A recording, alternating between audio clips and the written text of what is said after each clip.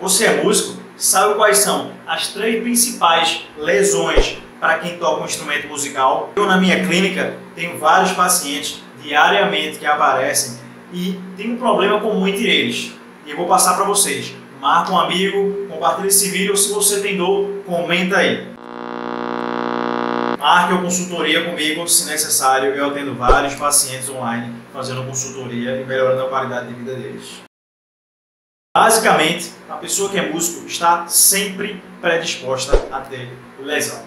Porque ele está sempre tocando e sempre se esforçando durante muito tempo, durante vários anos, e isso vai somando e acarretando lesões.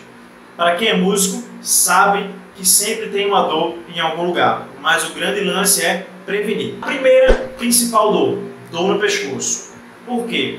O pescoço ele é uma área muito nobre. Sai muitos vasos, veias, por conta de uma postura inadequada, quando se está estudando o instrumento, ele acaba por comprimir todas essas raízes nervosas aqui e causa muita dor e desconforto.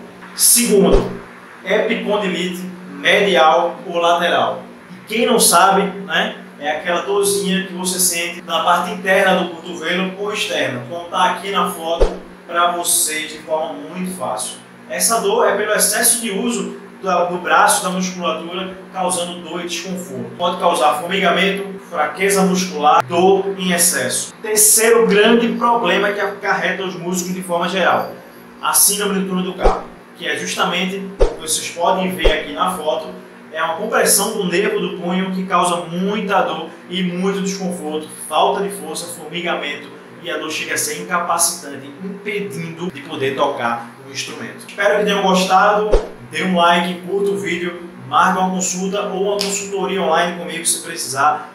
Um grande abraço e até o próximo vídeo.